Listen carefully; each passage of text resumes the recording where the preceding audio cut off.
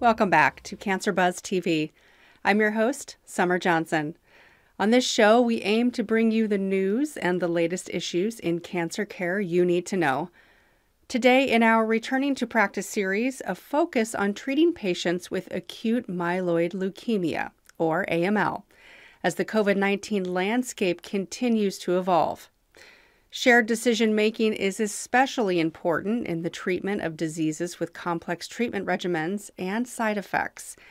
And in the uncertain COVID 19 environment, patient provider communication, patient education, and follow up are crucial to care.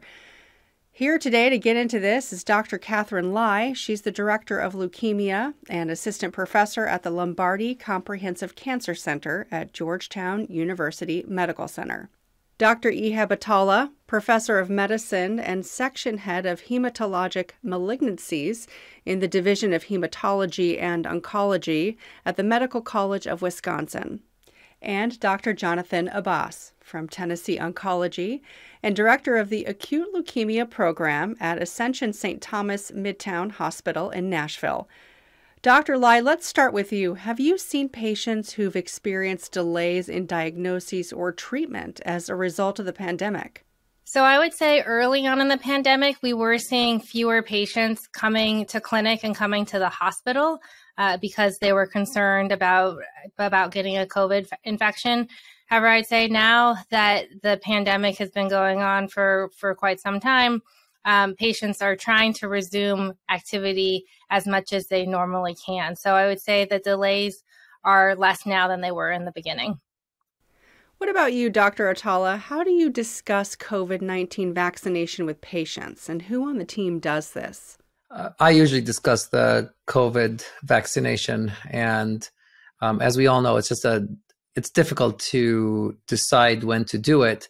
Um, for example, patients with acute leukemia that have a time limited therapy, whether it's like induction and consolidation, I usually try to wait until they're done with their induction and consolidation before uh, giving them the vaccine. However, we do have some patients who are on uh, continuous therapy with um, HMA and venetoclax, for example. Um, and in those patients, uh, there's really no definitive time of when it would be a good time. What I try to do is uh, give them the vaccine um, when they're three to four weeks out from their last treatment. Hopefully, their immunity is better at that point, and hopefully, they would uh, develop um, some antibodies. Dr. Abbas, can you explain why it's critical to have shared decision making conversations with these patients and why these discussions are even more critical now? Absolutely. Thanks, Summer. so, treatment for AML, for acute myeloid leukemia, is extremely personal depending on the age of the patient, their comorbidities, and their geography, and their family support, and their wishes, there are all levels of intensity of treatment. Some considered low intensity treatments that can be done predominantly in outpatient settings, and some which might be more intense therapies that require actually a full month of, or more of hospitalization. So when you meet a new patient with AML, the first thing you have to do is decide what is the goal for the patient and the goal for the family.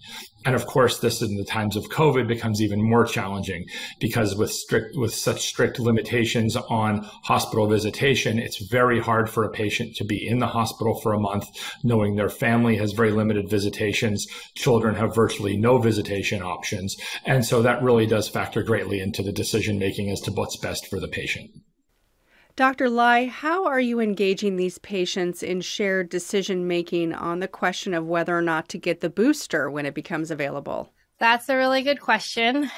Uh, so I would say for all my patients, which are, you know, they're, I, I treat primarily blood cancers and specifically leukemias, that these patients are immunocompromised, especially the ones that are getting treatment. So I guess what I would say is I would put patients into kind of one of three baskets in terms of either their active treatment or they're um, in remission but on surveillance or they're in some sort of maintenance treatment. So absolutely the ones who are in in active treatment, I would say that those patients need to be vaccinated. Um, initially, we were saying maybe we would try to time it when their immune system's a little bit stronger. but it's just hard to do. And because things are changing so much with COVID, I, we just, for right now, I just say patients should get vaccinated or should get vaccinated as soon as they can.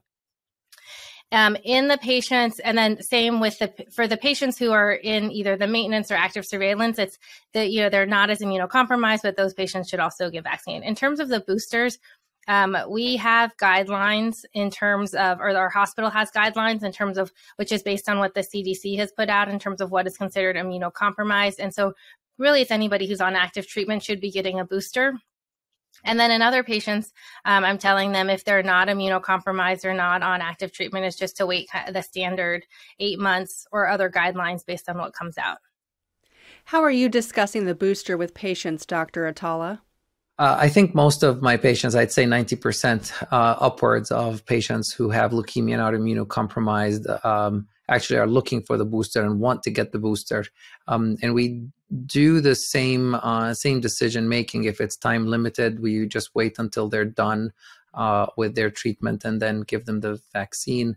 Um, but if they're on continuous therapy, just the same uh, rule. I can tell you that most immunocompromised patients uh, at least in my practice, have been very eager to get the vaccine and get the booster shots too. Dr. Abbas, how are you counseling patients? Do precautions vary depending on the subtype? Uh, so they do um, different types of acute myeloid leukemia, and the, and the um, treatments that we choose are going to cause more profound immunodeficiencies. And uh, this is going to really dictate what the patient's restrictions are. What are they allowed to do? Can they be going having visitors? Can they be going out to dinner? Can they be going out to grocery stores? So really, the more intensive therapy a patient signs up for, which might have a greater efficacy and a greater chance of achieving a remission, that with it comes more and more restrictions. And it's those kind of conversations that are imperative to have with every new patient at the time of diagnosis. Dr. Lai, what about patient distress? Are you seeing an increase in this because of the pandemic? And are you working more closely with the mental health professionals in your hospital? Yeah, I mean, I think in general, the treatment for for um, leukemias is a multidisciplinary po- approach in general. I mean, I have a team with a nurse and a physician's assistant. Uh, we have a social worker and a nutritionist. So I would say um, that those those resources are all in place. I would say that the nutritional support and the social work support has probably become more important uh, during COVID. And so to make sure that they have those resources and have access to those, just in terms of if anything comes up. Um, in terms of what typically comes up, it's usually you know more logistical and how can I visit family and how can I do it safely. And so talking through that um, is usually what's helpful. And so we have to really get specifics in terms of the scenario. And there's no consensus. It's just kind of, I mean, we, we have to tailor each individual situation to the patient and do what we feel is best for that patient. Dr. Abbas, has COVID 19 changed the patient follow up process?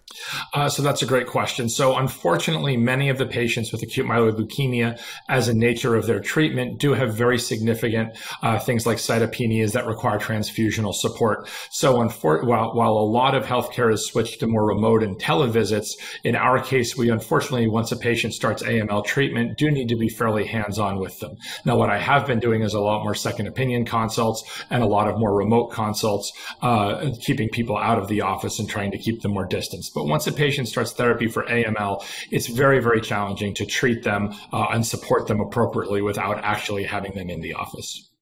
Last question, Dr. Lai. What do we need to keep in mind about treating these patients right now? So I would say that um, the the most important thing is communication. Is patients feel empowered when they can make informed decisions. And so when they're given the tools that they need to make um, to make educated decisions, then patients feel more comfortable being treated. So that I mean specifically being you know understanding the context of their immediate treatment, but also knowing what the long term plan is, so that they can also account for what's going to happen in the foreseeable future uh, so that they can plan for themselves but also for their family in the context of who can who can they interact with and who can they take care of and who may or may not need to travel to to visit them if they you know if somebody's going through a transplant and needs a care a long-term caregiver so i really think communication is is important Dr. Atallah, any closing thoughts we need to keep in mind? I think uh, overall we have to be uh, mindful of what's uh, going on uh, around us with COVID. We need to emphasize to patients that with or without COVID, they needed to be careful anyway. Uh, we have to uh, understand and um, in a in a respectful manner uh, respect our patients' uh, concerns for the vaccines or not, and it's our job as physicians to um, uh, educate respectfully um, and just support them through through this hard time. Thank you, doctors Lai, Atallah, and Abbas. For more resources on treating patients with AML and more of the Returning to Practice series, you can head over to the ACCC website at accc cancer.org. On behalf of all of us here at Cancer Buzz TV, thank you for watching. I'm Summer Johnson.